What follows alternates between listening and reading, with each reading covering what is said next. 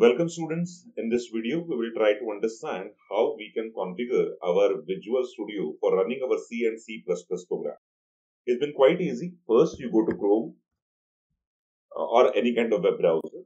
Here, you type the query as mingw, mingw. So you'll find the source SourceForge as a website where you'll find the mingw for Windows is been available for download. Click on download so this will be downloading your MinGW. It will take few minutes depending on your internet speed. Once your MinGW get downloaded, we require to install the MinGW. So I require to keep this file. So fine, it goes downloaded. So I click on this file and start installing this MinGW. Give a click on install. It is installing the MinGW under our C drive MINGW folder. Fine, I'm okay with this thing. So I give a click on continue. So this will be connecting to the MinGW server and will be completing the installation. Hardly it will be taking some uh, max to max one minute depending on your machine speed and internet speed. Once this MinGW gets downloaded, we require to go for installing the various tools which are related with the C and C++. So fine, the MinGW gets downloaded. Now I will give a click on the continue. So here the ng MinGW installation manager is there you please select the option called as MinGW32 base uh, that is marked for installation. Along with that, you can select the option that is MinGW32 GCC G++. So this option has been available to you for the sake of G++. So you please give a click on this. So one, these two are been marked for the installation. Then give a click on installation and select the option called apply changes. Then give a click on apply so now here it will be completing the required installation for us. This will also take a few minutes to you. So after completing the installation, it will be showing you like applying schedule changes. And once the schedule changes are being applied, then the close button is enabled to us. So we close this thing. So what we had done till the moment we had installed our MinGW32 base and MinGW32 GCC G++. So once you complete this particular thing, the next part is of setting the environmental variable. For setting the environmental variable, you can just click on start and give a click on environmental variable, like edit the system environmental variable.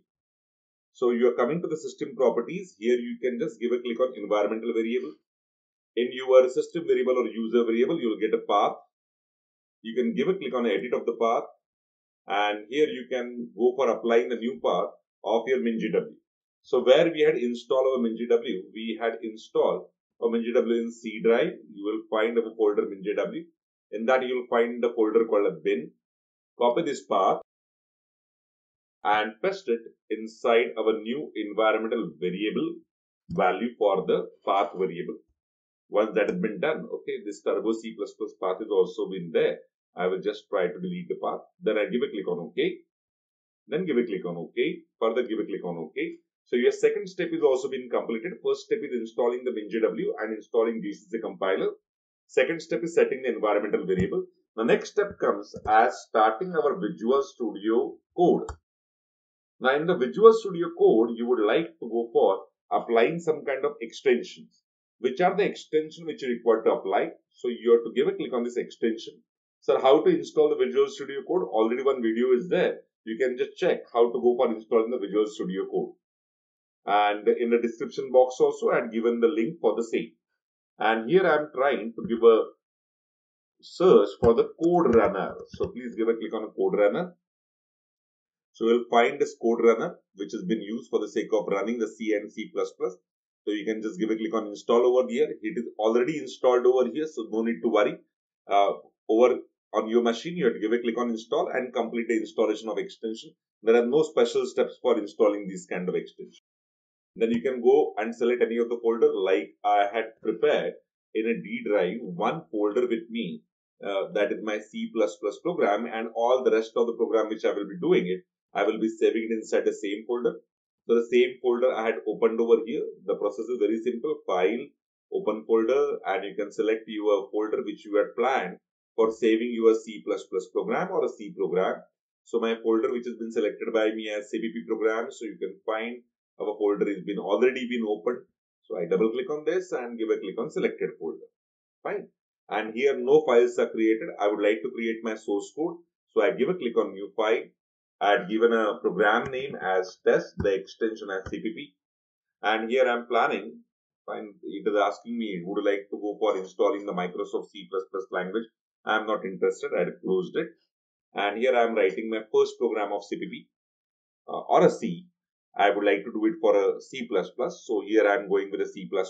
So I'm writing hash include iostream and here I'm writing hash include conio.h.